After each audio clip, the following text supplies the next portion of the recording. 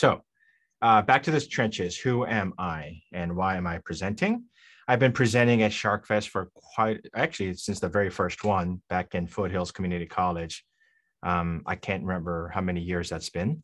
And uh, I presented at just about every one except for one or two uh, recent SharkFest.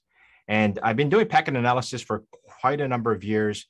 I think 19 uh, mid 80s maybe. So there was no such thing as a sniffer at the time.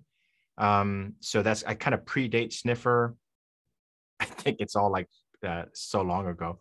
Uh, but anyway, so I've been doing this a lot. It was a fascination of mine, and I was hooked when I was taking my computer science course, and I was writing a network operating system. That was my senior project, and it was cool. But then when I actually got a chance to see what I wrote in software flying around a virtual network, I was hooked. I, I and then I went all in on packet analysis, um, and it takes practice. So this is um, the unfortunate thing about packet analysis and being good at protocol analysis is that you have to practice. There's just no way around it. Okay, this is not one of those things that you sit back and and you can understand everything that I'm saying, but it won't matter until you actually try it for yourself. Okay, because then you'll get to that point you go what the hell did he say? Like i don't know what this means. And so it's repetition repetition repetition uh, just like that book uh, says about 10,000 hours right? 10,000 hours you can become an expert. Mm, i don't think that's an overreach. I think 10,000 hours seems about right. So let's talk about um, who i am again. Uh, i'm not on twitter facebook or instagram. My life is much better since i gotten off all those things. I am on linkedin so you can google for me on linkedin and then that uh, last line there, which is uh, my YouTube channel. If you go there, you'll see some uh, probably some flight sim, virtual reality stuff, some woodworking stuff, playlist. But the one that you want is um, Shark Fest. There's one for Shark Fest. There's one called Hansang's book, I think. It might be webinar or book. Uh, and those are all, or TCP protocol analysis for TCP you'll figure it out. When you see the playlist it'll be obvious. Um, and so you can find some of the older sessions uh, other uh, sessions about tcp ip and protocol analysis that i've done in the past there as well okay? And uh, oh and i forgot. Um, i work for Netskope so i'm the field cto for Netskope and um, security company cloud security company cloud security broker and whatnot.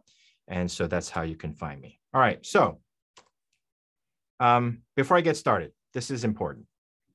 So a couple of quotes that kind of goes in line with the session. And that is, this is the first quote I love. And uh, experience is what you get right after having needed it.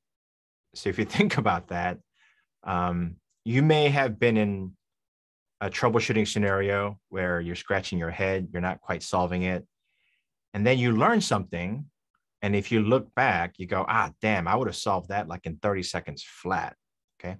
I cannot tell you how many times that's happened in my career where I learned something and then just the previous project or troubleshooting would have been so much easier.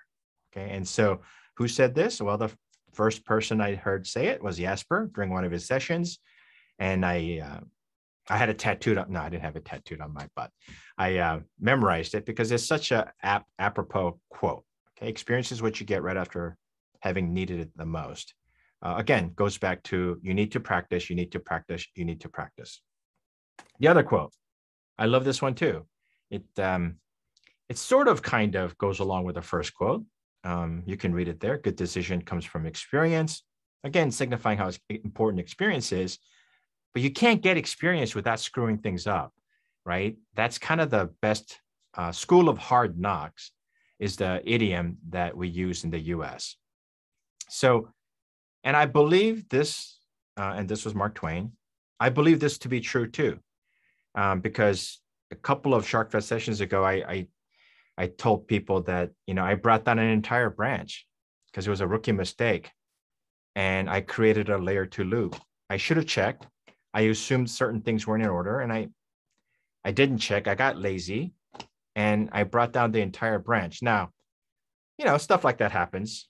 What made this particularly painful was I assured the branch manager that this is the safest thing you can do from a network change perspective.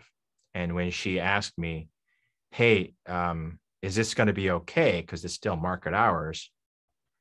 And I had the, this is why it's seared in my brain. I actually laughed. I LOL. I went, ha. I said, trust me, this is spanning a port is the safest thing you can do. It's the most non destructive thing you can do. And the minute I did it, the entire branch came crashing down. And that's the experience, uh, the bad decision that I learned.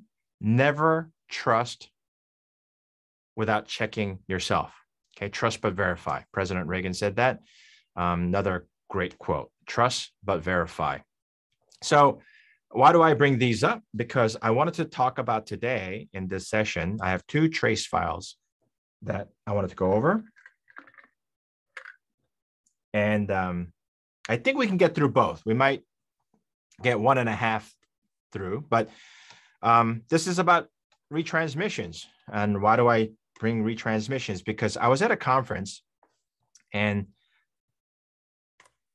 um, I heard somebody raise, and I forget what the conference was. It's like troubleshooting or something or um, new technology. I, I, forget.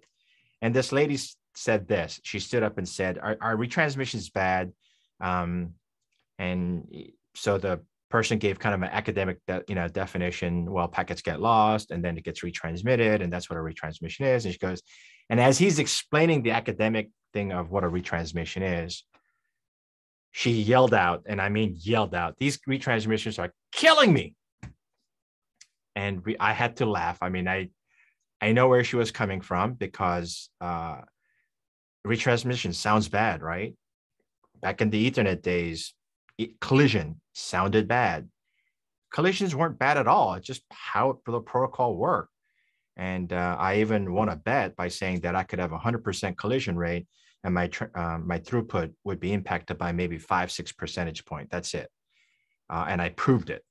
So, you know, when we first start out and open up a trace file, we look at these retransmissions and we think that's bad. And it was back in the days, it was bad. But then with modern stack, it's not that bad. It's just kind of eh, it's a fast retransmission. And when there's a fast retransmission, I don't know that it would be human perceivable slowness because how fast retransmissions work. And I'm sure there are many other sessions by Chris Greer and others, and Jasper and Christian and others, uh, Betty, um, who have presented on how uh, selective acknowledgements work in conjunction with fast retransmission to make packet loss kind of a eh, whatever. But there are ones that are very, very deadly. Okay, this is where a retransmission timeout occurs, meaning fast retransmission didn't detect it and retransmit immediately. You're just kind of having to wait, wait it out, wait until your clock expires. Um, and then you go, well, I positively know there was a packet loss, and now I'm going to have to start over. So even there, the newer stacks aren't as brain dead as the oldest stacks where you go crash all the way to the zero and you start slow start from one packet two packet four packet you know and then you kind of build that slow start that we are heard about the newer congestion algorithms they're much more aggressive than that so you might even say that well maybe retransmission timeouts are not as deadly but still they're very very expensive proposition okay um, so that's why I wanted to kind of focus on um, retransmission. And I think he, yep. So here, the point here is that uh, retransmissions really will kill you. Okay. Now, one other thing, um, I'm going to not go to presenter mode here. I'm going to go to just the regular mode. When you're troubleshooting and looking at trace files, make sure you're situationally aware.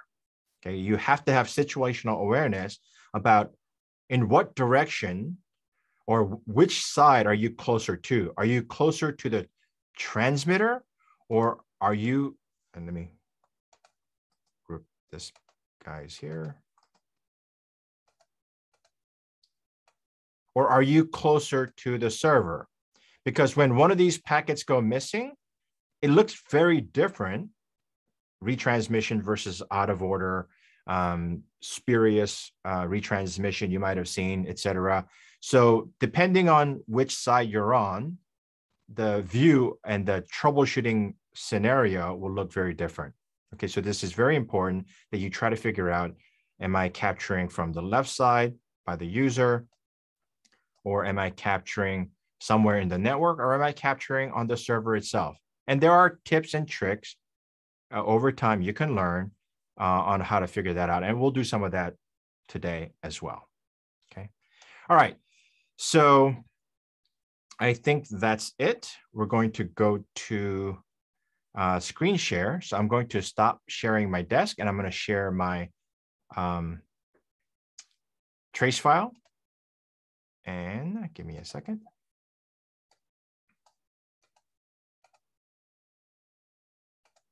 Okay. All right. So you should be able to see my um, screen, uh, Wireshark, SharkFest. Uh, I'm sorry, uh, my Wireshark screen. And if someone can tell me in the chat that they can see it, that'd be great. All right.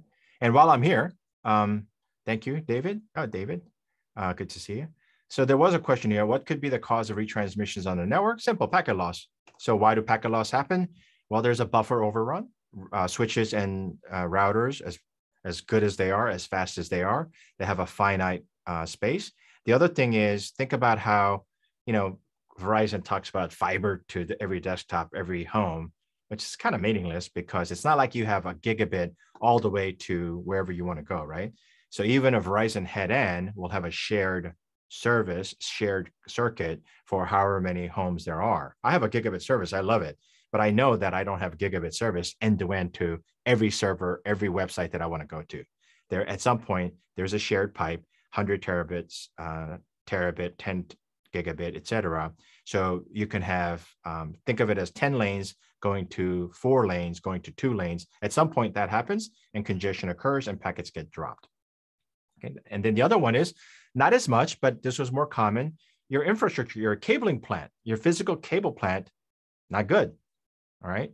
Um, and this was more, you know, it happened before when we were using Cat3 cables uh, and coax cables with taps and whatnot. And if we were in real Shark Fest, I can tell you some very funny stories about how uh, ThickNet and ThinNet used to wreak havoc to the network. But uh, with the modern Cat5e, Cat6, even Cat5, um, you're not going to get much uh, electrical or interference uh, from the actual cable plant itself. Okay. All right. So with that, let's go and look at this um, trace file. So this says, we see here SYN SYN-ACK and then right off the bat, we have a TCP out of order. Like what the hell? It's the SYN SYN-ACK ACK, the three-way handshake, and we already have out of order. What's going on? Well, we're going to find out. And then I scroll down, as is my workflow, and everything looks okay. But here, I see a bunch of retransmissions, so that's no bueno. Okay. And this pattern kind of repeats itself, so I kind of chopped it off. Excuse me while I get a sip of water. And so let's look at what all of this TCP retransmissions are about. And and you might think, ah, I know what this is. This is retransmission, no big deal, packet loss, move on, nothing interesting here. But again, it's one of those things that the deeper you go, the more interesting things you see. And um, I'm pretty sure that you'll learn something new, um, even if you're very good at this. Okay. How can I be so sure? Because I learned something new like 40 minutes ago while I was preparing this session. I learned that um, and this has nothing to do with the troubleshooting or just how to use Wireshark. If you double click in the middle pane here, so this is the hex, I double clicked and on Ethernet, you saw me do that and opened up. Wherever you go, that Ethernet opens up automatically. But if you double click on it and if you close it, they're all closed. Okay. It was driving me nuts because at one point I actually opened up one of these Ethernet but notice what happens is um, it, I actually double clicked on it and then it opened and I could, and I had to go to every one of these and I would collapse it, go to this one and collapse it. Um, so if you double click, it globally opens and closes the, uh, collapses the, the protocol header. Didn't know that. I learned that after using Wireshark for however many years. That's how I know you're going to learn something today. All right. So you can see here that we're using, I have some columns here. Uh, again, in my playlist, you can see how I created created these columns. There are many, many videos on how to create these columns. So I'm not going to uh, delve into that because we do have three or four sharks for this session. In one of my playlists, I have uh, how to set up Wireshark for troubleshooting, something like that, that walks you through all these different profiles. And um, in one of those plays, there's um, a link you can get from Dropbox, I believe, Box, where you can download these uh, profiles that I use. All right, different people use different profiles, so it may not be very interesting to you. So 192.168 is sending a SYN. We can see some of the, it's a modern stack because it has ex explicit congestion notification. Uh, and then you see the SYN-ACK, and that took about 31 milliseconds because I have a delta here, nothing extraordinary until we go, wait a minute, how is this out of order? And it's just a SYN-ACK. How can this be out of order? Why is why is it telling me? Um, and why do I have this guy and this guy, packet two and three, be um, a retransmission? Not a re well, is it a retransmission? Because it's the same packet, right? Now, there are a couple things that we can do to look at to see if it's same packet or not, right? We all know that IPID, while we still have it, because um, IPv6 doesn't, uh, maybe we can use this. And this is not a surefire thing either. But here in this case, this guy and this guy, packet two, packet three, which are both SYN-ACK, are not in the same IP ID. So it doesn't look like this is one of those cases where there was a router on a stick and the packet went up and came back down and we captured it twice as it changed VLANs, for example. Okay. And um, because here in the Ethernet section, you, you would have seen VLAN tags there as well. Okay. So what the hell is going on? Why did this happen? And what's different about this guy and this guy? Okay. So one trick that I use is if I hover over the TCP so I just single clicked on the TCP protocol. I do this quite often, this trick. You can see all the hex here. And then as you notice that as you highlight over each one down here, it tells you which byte it is and what it is. Okay, so this one is source port, byte offset 3435, et cetera, et cetera, et cetera. But if you just click on it here, you can see that the whole thing is highlighted down here. Okay. Now, what I'm going to do is I'm going to go click here and here, packet two and three, and you'll notice when you look at your, you kind of, you, you can do this in a peripheral vision. It's even better if you use your peripheral vision. Nothing changes in that highlighted blue. I'm going back and forth, back and forth, up, down, up, down. You can also use F7, F8 um, function key because I think that was uh, the old DOS sniffer um, leftover. But you can use up and down arrow key.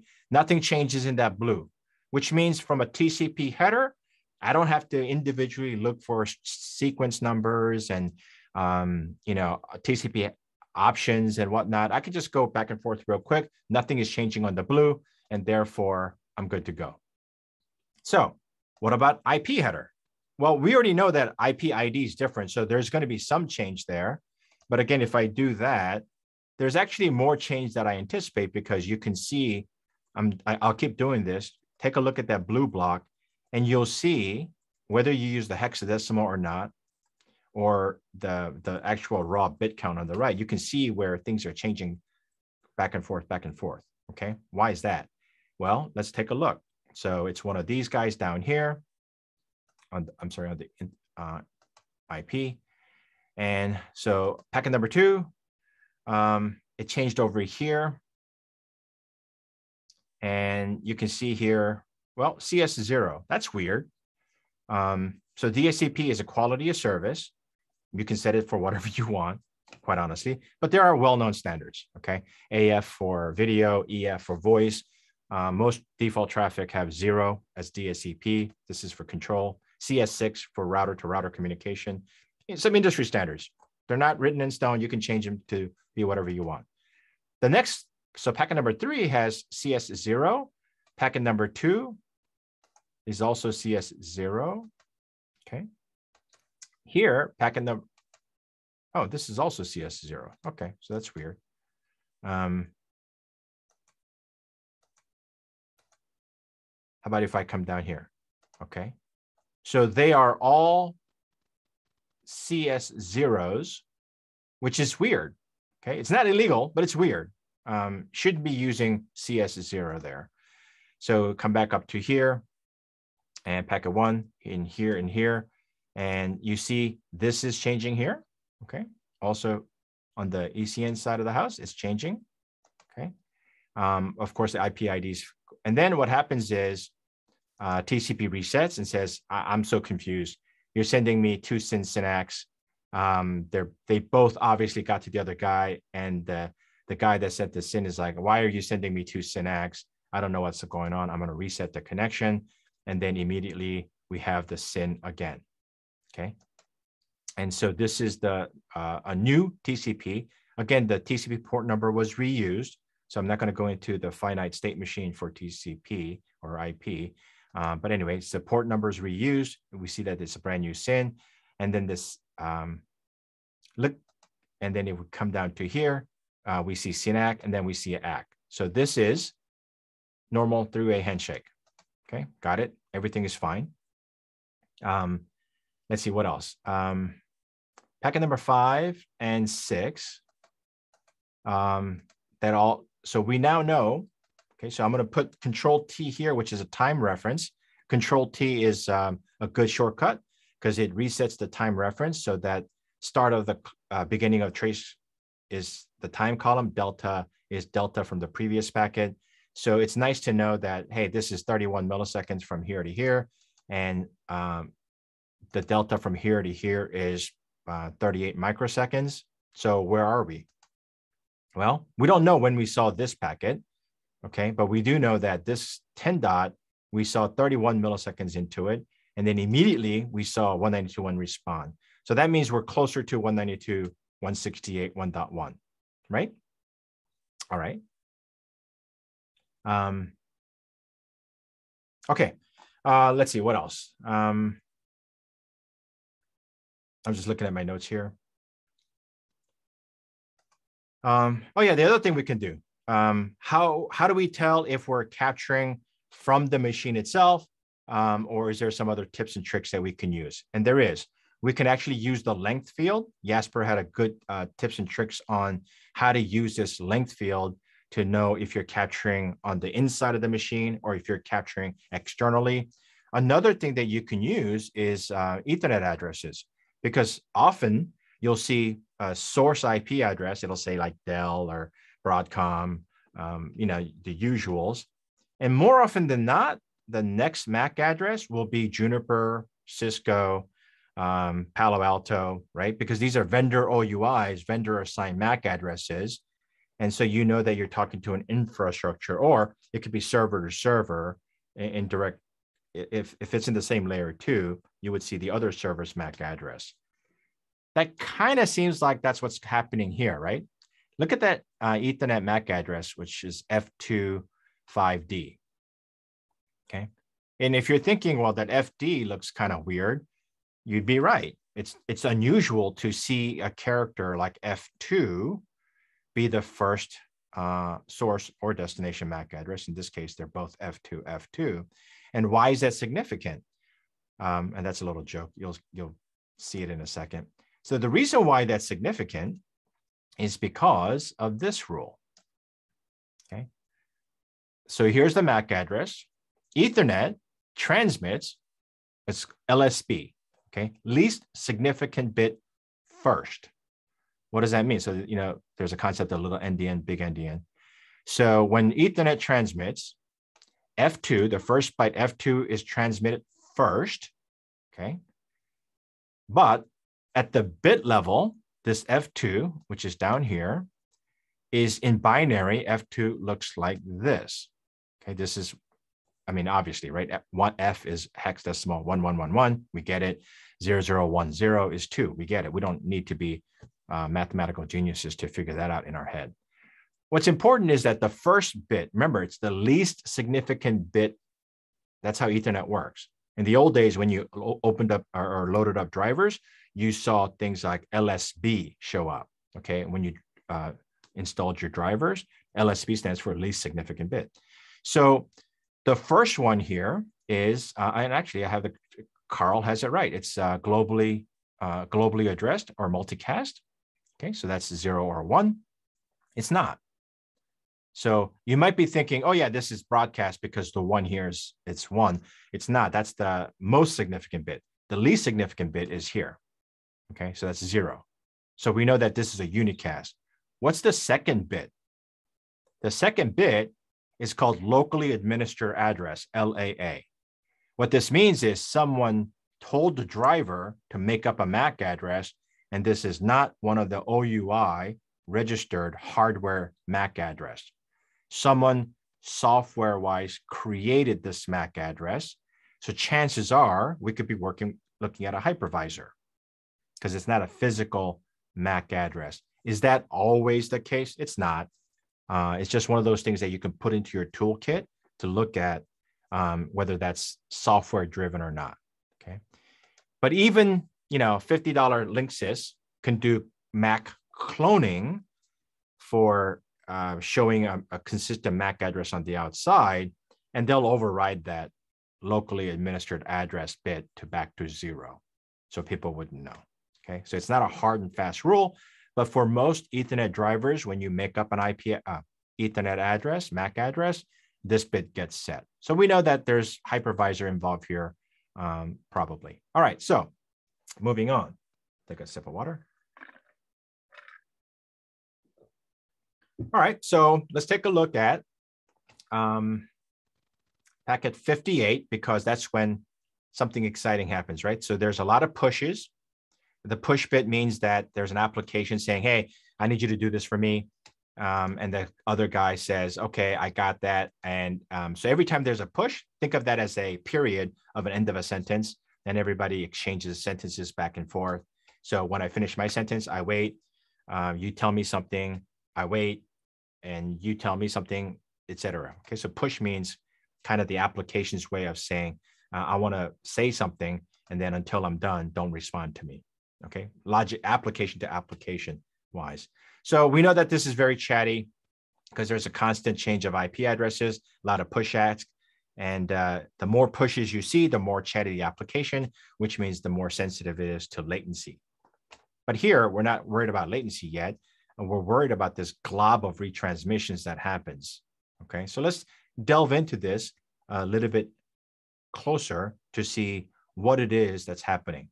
Okay, so at packet 58, I'm going to start from here because everything else before this is normal except for that SYN-SYNAC weirdness, um, which I don't know why it did that. But here we are at, um, so this is 10 dot sending 14 bytes of data to the other side.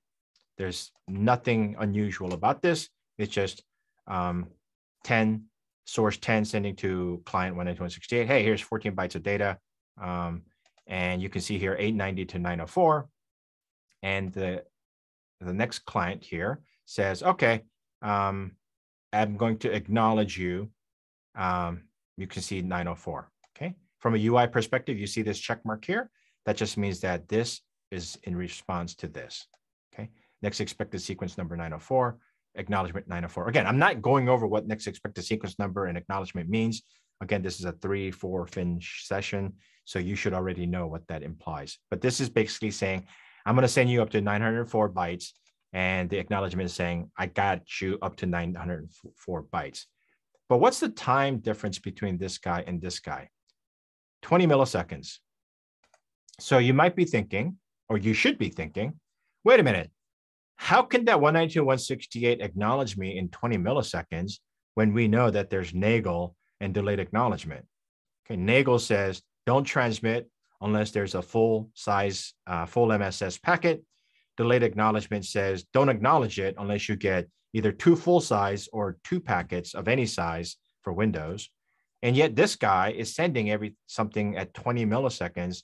How can that be? Maybe, maybe they cranked down the delayed acknowledgement to be 20 milliseconds or so so that they can break that deadlock.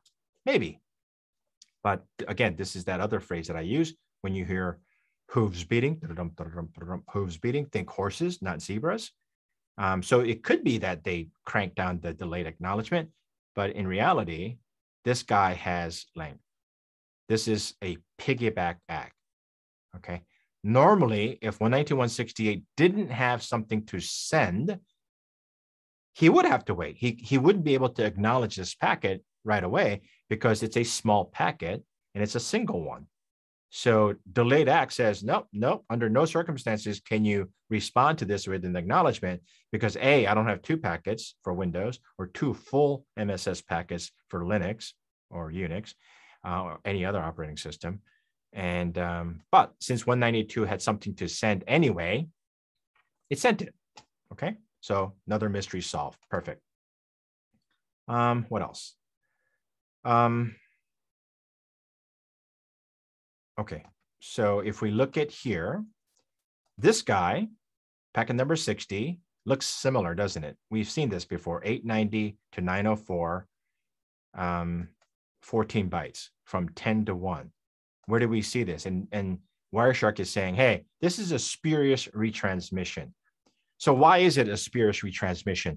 Because from Wireshark's perspective, it saw this acknowledgement and it's seeing yet another acknowledgement. So he's saying, hey, uh, you should have seen this because we already sent an acknowledgement and we're seeing it again.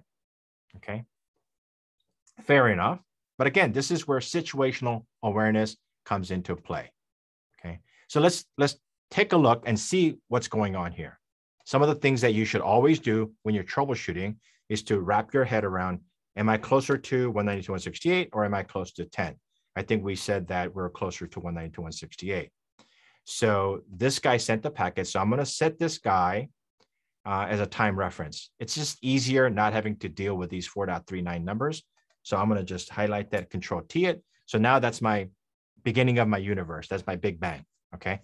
So with it's much easier to say, okay, in 20 milliseconds, uh, the client 192, 168 sent something, and then in the back of your mind, you think, well, why the hell did 192, 168 take so long to respond 20 milliseconds when I know I'm closer to 192, 168? We've already established that. So as soon as it saw this, why didn't why did it wait 20 milliseconds? Well, because this is an application data. The application had to do something. Um, and it's because again, so let me compare and contrast that with the SYN SYN-ACK. Okay. So SYN, um, SYN-ACK is, let's see. So this is a SYN. SYN-ACK from 192 to 168 happened in 38 microseconds. So we're super close to 192 to 168. But here, uh, it took 20 milliseconds, again, because the application delay. These are all the things that you have to be thinking as a troubleshooter. So I'm just basically thinking out loud what I normally do in my head. Okay, that's why if this session sounds very confusing, it's because I'm trying to explain to you what goes in my head. I'm asking all these questions because they're all relevant. As a troubleshooter, you need to know the protocol well enough to ask and answer all these questions and start ruling them out as not interesting, not interesting, not interesting. So this 20 millisecond delay, application delay, not interesting other than, hey, your application took 20 milliseconds to uh, respond. Okay, no big deal. Then look at this guy. Why is this significant? So this is that uh, acknowledgement that we saw yet again. We saw it twice. Why did we see it twice? And do we have any clues here on why we might have seen that twice? So here's the first one, 14 bytes. And here is the second one, 14 bytes. Clearly different packets. It's look at the time. Okay, look at the delta time or from the beginning to end. Okay, so Juan is right. It took over 200 milliseconds. So take your situational awareness and, and put your brain, the view, to the receiver or the sender. Okay, so let's kind of shift our lens to the sender. I sent you something. I'm waiting for an acknowledgement. And from my perspective at 192, 168, I acknowledged you. It's right here. Proof is in the pudding. I acknowledge you for 904, packet, uh, byte number one, ACK number 904. Next expected sequence number. I did my job. I'm good. Yet 200 milliseconds later, you sent me another 14 bytes, and that's a retransmission. Not just a regular retransmission, but the deadly one. This is a retransmission timeout. Packet was completely lost, and so he's retransmitting. But how can the packet be lost when it can't? We saw it twice. So clearly the packet wasn't lost. What the hell's going on? Again, you have to be situationally aware. What this is saying isn't that these packets got lost. Clearly it didn't because we see it in the trace file. What got lost was the acknowledgement. Okay. So remember, TCP is a two way conversation. And that's why it's always um, difficult when you first start out because you have to think both direction the, the, two different sequence numbers two different ACK numbers and it's very easy to get wrapped around the axle so don't try to think uh, dice the slice and dice the problem from only the sender to the receiver so when you're doing that analysis just look at the sequence number of the sender and just look at the acknowledgement number from the receiver mentally throw out the sequence number that the receiver is sending because it's not important right now okay and you can see that, okay, so if we assume that this got lost, it makes sense that this packet would get retransmitted. Not only that, but there's a giant clue here because a lot of times 200 milliseconds is um, what it takes. Okay, 200 milliseconds is a reasonable retransmission timeout. 250 milliseconds is another one. 150 to 75. I've seen 75. Again, no hard and fast rules, but it's um, we can reasonably conclude that that's what happened. All right, so why did this packet get lost? Because everything was fine here. What's so special about this guy? Well, we have another giant clue, okay, as to why this packet was lost. Okay. And again, because your eyes, you should be training your eyes to look at these things uh, on the screen. This is why the setup of Wireshark is so important because if I'm using someone else's layout, I, I couldn't, I wouldn't be able to pick this out instantaneously like I would because I'm used to my screen, my format. And that is 7160. And you might say, well, I know what that is. That's uh, TCP offload. Right? We, when you do TCP offload and you're capturing at the host, the TCP, the segmentation of that data, the quantizing of that data happens below you. So you see this giant, or maybe not maybe this is a real jumbo frame. Okay. Um, and you think, well, jumbo frames are supposed to be 9,000 uh, bytes, but maybe the application only had 7,000 to send. Okay. In this case, this was a jumbo enabled network. So physically sending 7160 is perfectly legit. Or is it? Because we have some more clues here. All right. So the 7,000 packet Sequence numbers, now we're looking at the sequence number of 190 to 168.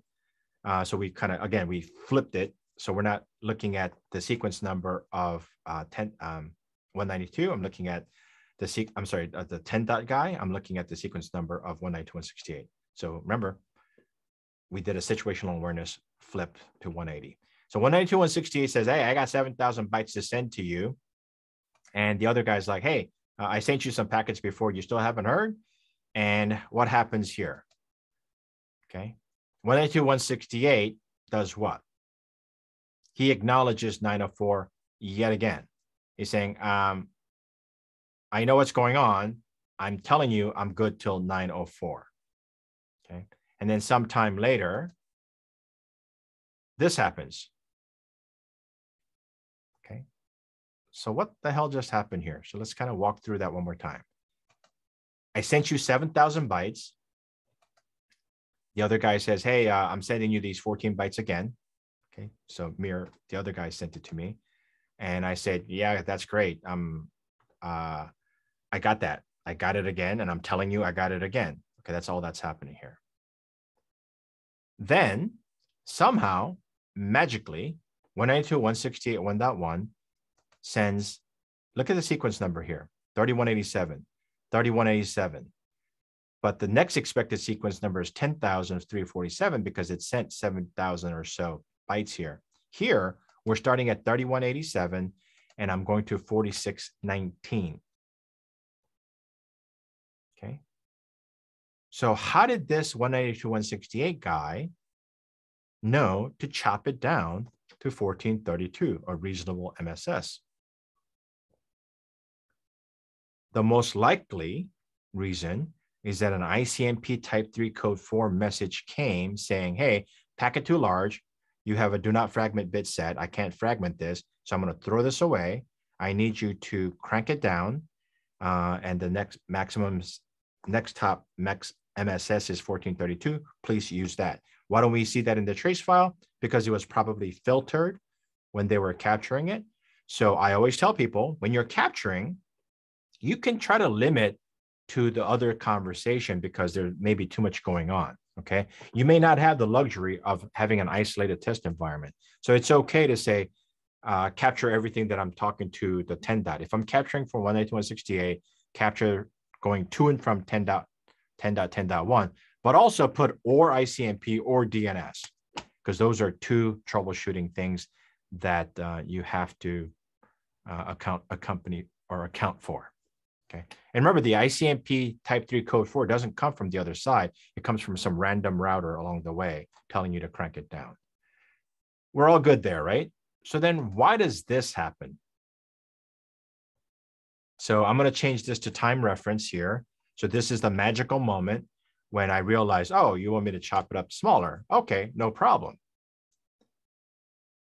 I sent this packet. Remember, we're closer to 190 to 168, if not on 190 to 168. We're very close to it. We're 30 microseconds away. And he sent 1432, but he's not sending anything else. Why is he not sending? Because his TCP, the other guy's TCP window size, the 10.192 window size is plenty. Okay. The one, 192, 168 guys like, bring it on. Give me 200,000 bytes, 262,000 bytes. I'm good. My receive window is fine. So it's not a TCP window problem. So why is this guy sending 1432 and then just sitting there for half a second? Think about that. Why? Could it be slow start? Because the whole purpose of slow start is I have a retransmission timeout happen. I sent this, nothing happened. I didn't hear anything back. Clearly, the packet's lost, and the old congestion says, hey, simmer down.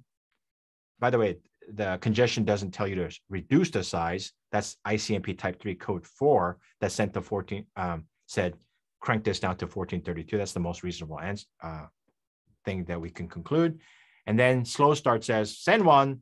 If you, you're good with that, send two. If you're good with that, keep ratcheting it up. So this is an older congestion control algorithm TCP. Reasonably, we can conclude that, okay? Because what would have happened is you would have seen 3187 to 4619, then another 1432, then another 1432, then another 1432, another 1432. You would see a big packet train leave, kind of like this. Okay, remember this here? So let's imagine this packet's here. So, oops, I deleted the wrong thing. I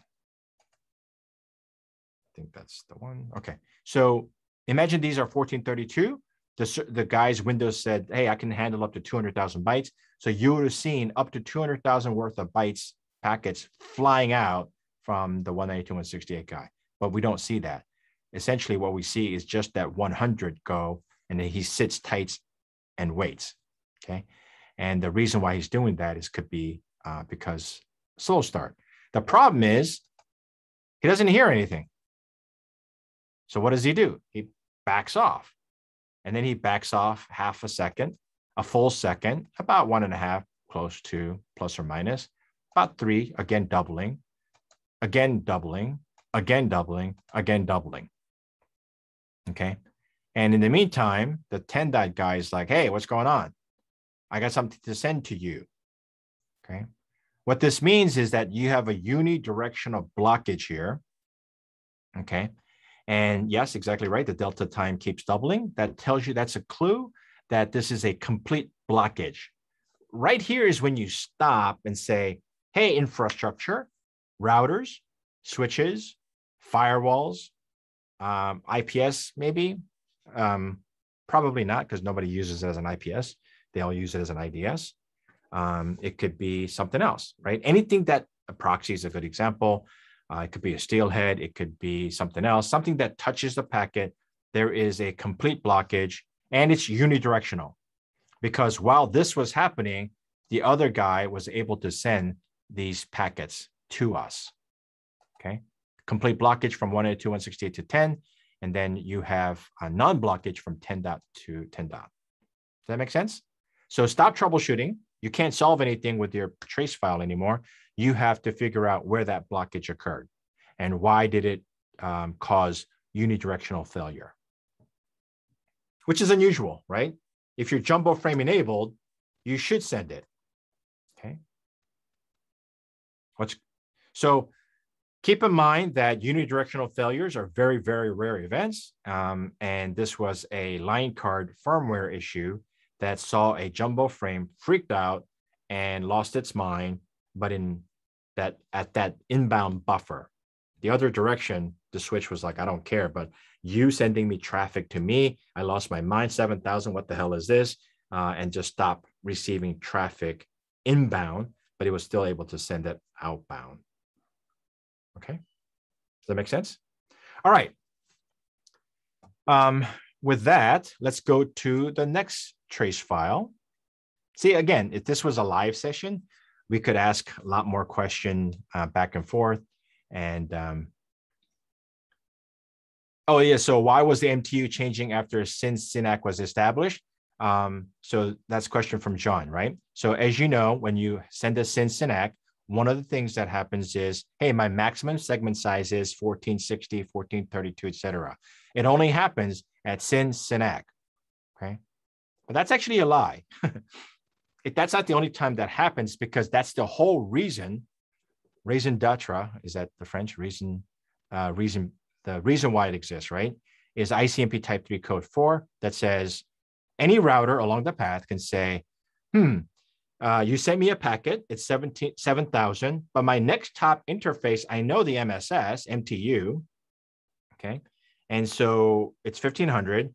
So I'm going to deduct 20 bytes for IP, 20 bytes for TCP header, or maybe more if you have TCP options. And then I'm going to tell you, the sender, to adjust your MSS to 1432. Okay, so it's not only the SYN SYN-ACK that sees the MT, uh, MTU MSS size. Um, SYN-ACK and ACK is MSS size. ICMP type 3 code 4 sends you MTU and you can derive the MSS there and says, hey, to make the next packet, the largest packet that you should send me is 1432. Okay. And interestingly enough, what happens at the operating system level is that it creates a host route for that destination. And in the routing table, it reduces the MSS. Uh, that's how the host, the OS, knows that when it's talking to that guy, it's to use a different MSS than everybody else. Okay, it creates a host route. That's how it keeps everything together. All right.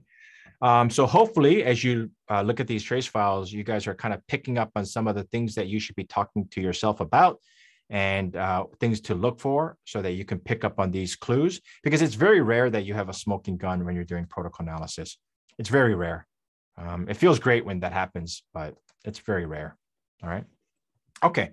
So with that, um, I'm going to switch gears. So you can, this was a um, throughput issue from, uh, I believe it was uh, overseas to London, if I remember right. And it doesn't matter what the application is. It was just horrible, horrible throughput. And uh, someone sent it to me and said, hey, can you make heads or tails out of it? And um, so I did. I said, well, I, I, I don't know what the application is. I don't have a whole lot of information, but I'll take a quick look and give you kind of a diagnosis of what I think may be happening. And unfortunately, this is another uh, serious um, deep dive, but I'll try to highlight the key points so we can spend time on the Q&A, okay? And David, Sharks chewing on the, the cables again. That's awesome. Um, by the way, uh, a slight, slight detour. If you ever read the book Blind Man's Bluff, this is about submarine warfare in the 50s, 60s, 70s. They talk about how this, um, the U.S. uh, submarine, special built submarine, went to Russia and and put out a box that tapped into uh, the phone lines that Russians were using, uh, Soviets, I should say, because it was still Soviet Union back then, and they were able to tap in without not a vampire tap or physical tap, electrically uh, pick up the signals and listen in on that conversation. So it's not the sharks chewing it, but maybe it was a submarine um, chewing on these cables. but uh, okay, so the other one here. So let's go back to this trace file. Some things that throw it out of your brain. The sequence number not being a um, relative, that happens when you anonymize packets. And this wasn't done. This was done first with uh, BitTwisty, which was an older tool. And, uh, and then thank goodness Jasper wrote the um, TraceWrangler. So if you haven't heard about TraceWrangler, look it up, Google it. It's a it's a terrific tool that chops up and anonymizes your packet in a much better way than BitTwisty used to do. So if I just scroll down, um, we see that um, there's a pattern here, okay?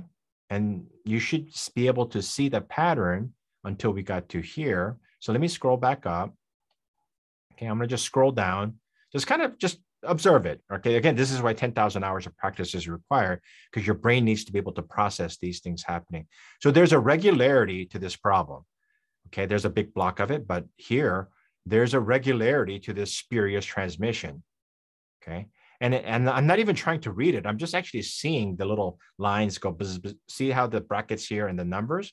When I scroll down, you can see that brackets very, very quickly. Your eyes are very good at picking that up especially if you use kind of peripheral vision, because peripheral vision, because of the rods and cones, are better at picking up fast moving things. Okay. So there is clearly periodic thing happening here, which is good because that means it's easier to troubleshoot. When it's happening uh, routinely, then you, you have a better chance of it happening than just randomly. So what are some of the thoughts here? Okay, so if we put on our thinking cap, we see that there's a you know spurious retransmission again because spurious because we saw it and and um wireshark's like wait a minute this doesn't make sense. I saw it so why is it a retransmission? We see the duplicate ACK okay and then we see duplicate ACK and then it seems to go on and then it happens again seems to go on happens again seems to go on happens again. There's no reset here. So we're crawling along with these periodic retransmissions what would cause something like that with that periodicity? Okay. Well, maybe there's a multi-path going on, and one of those paths is wrong. So there's four equidistant or four egress from this guy that's sending uh, the traffic to us. 192 is sending it to uh, 10 dot, I guess. And that's why one of those cables is bad. But that's certainly a possibility. And when you're doing routers and switches, um, now they're almost synonymous. But back in the days, you can actually say, you know, do per packet load balancing. That could be it.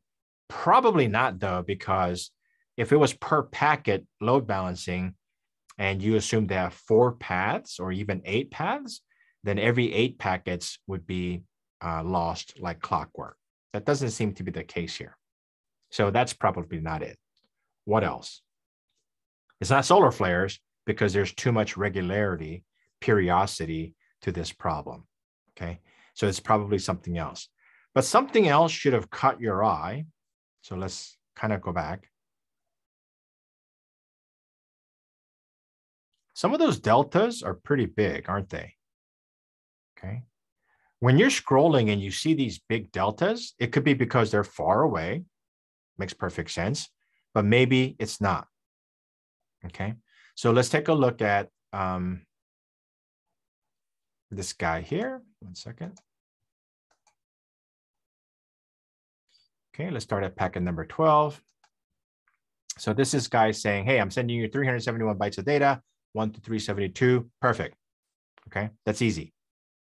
So, but it's also not a full size. So in the back of your mind, you think, okay, this could be subject to delayed acknowledgement, right? Because the other guys um, that's the only thing that he sent. So it may be subject to delayed acknowledgement, not responding in time. Okay, so certainly that's that's true. And then here we see another 216 bytes of data. So this guy, remember we flipped the, I sent a one or 10 dot sent to 192.168, 371 bytes of data, but now 192.168 is sending that data. Okay, again, acknowledging within 142 milliseconds. Again, we're pretty far apart. Um, and it's not delayed acknowledgement because he's got something to send. So again, this is piggyback ACK as well. Okay. Um, but even though this is a 216 byte, he doesn't slow down at all because within 300, three, three milliseconds, so let's actually put the time reference here. Within uh, three micros, three milliseconds, he sends uh, 1460 bytes, 1460 bytes, 1460 bytes, and then 90 bytes. Okay, that's a little odd. Why is that odd? Because if you add up that number, it's not 4096. It's 4,776 bytes. I say it's odd because a lot of applications work in two to the four, you know, uh, exponents of two. So they either send 1024, 2048, uh, 4096, you know, those boundary numbers. So sending 4776 seems kind of odd, but we also have another hint, which is you should look at, which is that the push bit was set. Whenever a push bit, remember I said that's like end of your sentence. So he's he, this 10.192.168 uh, is starting to starting the conversation with 216 bytes something, and he's spewing these packets. Um, and when he's done, he has a push bit there saying, "Okay, I'm done. Uh, I'm going to sit back and wait for you to acknowledge me." And sure enough, uh, packet 18 here says, "Okay, I'm acknowledging 4693." Wait, what? How could he be acknowledging 45 or 4693? Next, next sequence number 4693. What the hell is that about? So I'm going to come here, take the time off, time reference off. And this is um, acknowledgement 4693. Okay. Where's 4693? Way up here. Okay, because this is my sequence number, next expected sequence number 4693. I'm acknowledging 4693 Okay.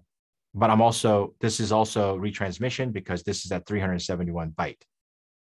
This packet here, 192.168, is acknowledging packet number 18. Okay, why is that weird? So 10 dot sends something to me, um, 1 through 1, 372. And I said, yep, a good for 372. And why is that interesting? because it's a dup ACK. It's saying that it's a duplicate acknowledgement. Okay. And ah, crap, time's up. All right. So, um, so if we do, let me kind of get cut to the chase. There's actually a lot of stuff here happening. I may make this a separate video because this is actually very, very interesting and a very, very deep dive. Um, but we have um, Q&A coming up, which is also important. So I want to show you guys one thing is if I go from spurious transmission to spurious transmission, look what happens. Control T. Okay, so this is my first spurious transmission. There's a 255 millisecond delay here, and to here is 500 milliseconds. Okay. So, and this is very repeatable. Spurious retransmission to retransmission is 500 milliseconds. There's probably 250, 270 actual round trip um, so what happens when you have an over 200 millisecond in-flight time? Okay, think about that. If you're using uh, flight time, so in your mind, start sending packets out. You're the sender. Okay, and you start sending packets as many as you want until you're authorized. In fact, let's do this. We'll use this as example again. Okay. So let's say this user starts spewing packets to the server, okay? And this duration from here to here is over 200 milliseconds. More than that, it's 270 or something like that, okay? What do you think is gonna happen? The user is sitting here, he sent out, well, let's make it easier and say that he sent these four packets out, okay? And he's waiting, and he's waiting, and he's waiting, so when these guys are all traversing from here, okay. So this is, I guess this is like ghetto PowerPoint animation, manual animation. So he's flying, okay. And I started the clocks. The minute I sent out the first 100 byte packet, actually this is surprisingly useful. Um, so I'm flying, flying, flying, flying. Right about here, 200 millisecond timer has expired. What do you think this guy is going to do? He's going to say, hey, there was a massive packet loss. I'm going to retransmit not everything, because I experienced a retransmission timeout. So I'm going to send, according to the rules of congestion avoidance, I'm going to send one packet. By then, these packets were not lost. So they arrived here to the server. And at some point, this little straggler guy comes running in again, and the server says, Ah, that's a spurious retransmission. Why are you sending me that when I already got it here? Because from the sender's perspective, 200 millisecond retransmission happens. He has to start over. He keeps draining this pipe, and this cycle repeats itself again and again and again. Okay. So this was nothing more than an old stack or a broken stack that didn't account for the physical distance. So this spurious retransmission happened again and again and again. Okay, hope that was, I know I kind of cut to the chase there at the end, but there's actually more interesting things about this trace file that led me to this conclusion. Um, so I may actually make a, um, a video of that. Okay, and for those of you that started to watch my TCP basics, uh, it's been over a year now. Lot, lots happens in a year, to to uh, um, to say the least. Um, so I'll stop sharing here. And I think I'm back on video. So uh, I'm going to start making TCP analysis videos again. I'm going to make some woodworking videos again. Um, the first video that I'm going to make is how to terminate patch cables. Um, a lot of people know how to do it, but they don't know the tips and tricks of how to make your life easier. So I wanted to make uh, a video on how to make ethernet cables. It'll save you a lot of money. Um, but more importantly, the tips and tricks to uh, there's there's again it takes practice right? So i want to impart that practice wisdom on how to make uh, the cables and then i'll i got some woodworking videos some tips and tricks on a dewalt table saw but i'm going back to tcp basics as well. So be on the lookout for those. I'm going to open it up for uh, questions right now. Um, kevin thank you very much. Uh, comment i appreciate that. And going to the details of the last trace. Yeah absolutely. You'll see that. Now here's the thing right from a YouTube analytics, it sucks because the people who are ardent fans of protocol analysis watch 30, 40 minute videos on a very mundane topic, very academic, very, you know, dry uh, stuff. But I, am actually a little funnier than when I usually present at SharkFest. When I'm doing it live, I'm, I'm funnier without the feedback, without the act for coming from you guys in, in real time. I tend to not get jazzed up about it. But I'll make a video of it and go into the nitty gritty of these trace files because that's how you get good. Okay. The other thing is, um, and uh, magnifying glass. So uh, yeah, I made the font size bigger, but if it wasn't big, um, then I'll try to make it bigger uh, on my YouTube videos as big as I can. And um, so I'll take that into consideration as well. And uh, the dad jokes, yes, the dad jokes, um, they're always good. Oh, by the way, talking about dad jokes, what's the one that I heard? Uh, when does a joke become a dad joke? When it becomes apparent. Get it? When it becomes apparent. It's a dad joke. Um, so any um, any other uh, see, there's a lot of lulls there. It's it's funny. Not all dad jokes are bad. So any other questions? Um, I'll I'll get the contents for sure. I'll do that. So be on the lookout for that. Um, and if you do have questions, uh, I'll be on Discord for a little while. So ask me that. And I, I, I want to you know, go go back to my experience as an engineer student, and I, I've said this in the past. When the professor's up there drawing up whatever it was, right? Um, complex variables, Fourier, um, Laplace transformation, whatever it was, you sit back and you go, "That's easy. I got it. Oh yeah, of course you do that. I would do that. Who wouldn't do that?" And you're you're sucking it all in. Then you open up your Howard Anton calculus book. I still even remember that author's name because he drove me nuts. You'd open it up and you go, yeah, that all made sense. And you go, what the hell did he do? Why the hell did he do that? I don't understand what's going on. So it's it's very easy to listen and observe, but it doesn't make that solid connection in your brain. That takes practice. That's why you have to open up a trace file every chance you get, and you keep going, going, and and and just keep plugging away, and you're doing multiple things. You're training your eyes to spot patterns. You're training your eyes to see what goes where, where the sequence number is, where the next expected sequence number is, what direction you should be looking at. um, what why you shouldn't believe Wireshark when it tells you something through its analytics because it's not as smart as a good analyst. These are these are things that can only happen through practice. And the only way you can get practice is by opening trace files and looking at it and watching a lot of SharkFest sessions from all the great presenters that we have at SharkFest and all the usual suspects of presenters here. Look at them, watch them, and get good at it. And don't be afraid to ask questions um, because, you know, eh, that old adage that, you know, there are no stupid questions uh, that's false. There are actually a lot of stupid people asking questions that make it a stupid question. I'm joking. It's a joke. There are no stupid questions because I learned something today about double clicking on that TCP header. Okay, in the in the Shark in the Wireshark UI. So nobody's too old to learn something new. So don't be afraid. Don't be shy. If you're shy, that's bad on you and you're going to miss out because I guarantee you there's 10 other people attending the session going, What the hell did he just say? Like, I don't get it.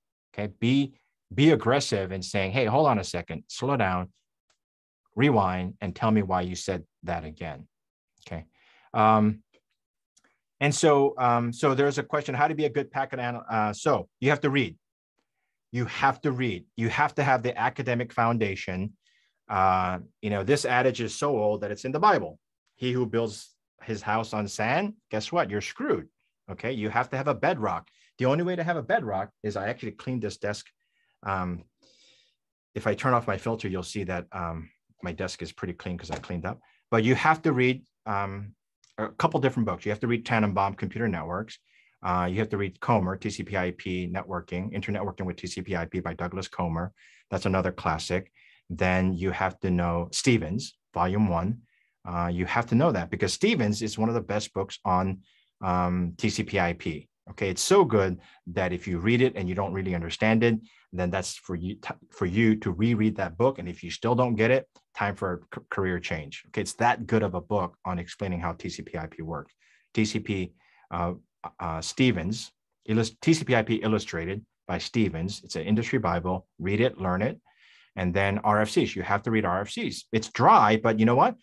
you have to get used to reading RFCs because they all speak the same language. So if you keep reading RFCs, you get the gist of what they're trying to say, however academic and highbrow and ivory tower they're trying to be, you start to read it.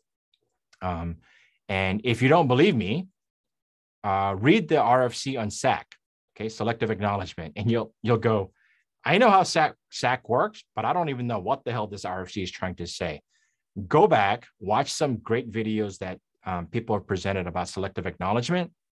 I don't know if I, I have dealt with selective acknowledgement. I think as a troubleshooting session, but I know Chris Greer has a great session on selective acknowledgement. I think um, I think Betty had a great session on TC uh, selective acknowledgement as well. And uh, watch those videos after having read the RFC, going, "What the hell are they talking about?"